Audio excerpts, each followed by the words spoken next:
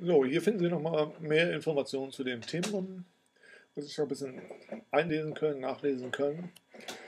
Und viele von Ihnen werden natürlich jetzt denken, tja, jetzt hat er selber so wahnsinnig viele Videos gezeigt, wie konnte er denn das eigentlich machen? Ähm, dazu muss man sagen, dass wir uns natürlich spezielle Medien rausgesucht haben, die es dann ähm, tatsächlich mit einem Creative Commons versehen sind.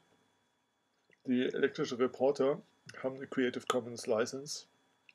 Und den Werbespot, den ich zum Schluss gezeigt habe, ist eine Art ja, Werbespot, wo die Betreiber eigentlich hoffen, dass die in so einem Kontext wie dem hier auch tatsächlich wieder weitergezeigt werden und sozusagen viral vermarktet werden.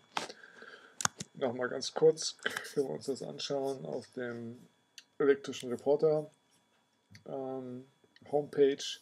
Dort ähm, ganz unten finden Sie die Creative Commons und da steht man, okay, man muss sagen, dass man es von den Netzreportern hat, man darf es auch nicht kommerziell verwerten, ähm, aber ansonsten dürfen wir es halt nutzen und das hier nochmal die äh, Website der, äh, der Vereinigung, die dieses Think Before You Post ähm, Video gedreht hat. Ähm, da können Sie gerne auch nochmal hinschauen.